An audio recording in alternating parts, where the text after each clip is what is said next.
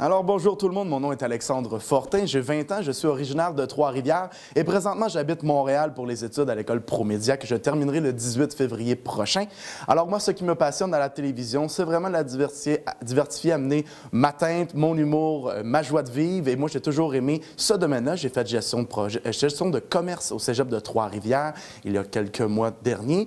Et puis euh, je vous dirais que qu'est-ce que je veux faire plus tard, c'est animer un, un, jeu télévisé, donc mettre mon image, ma touche et puis mettre la diversité dans votre téléviseur.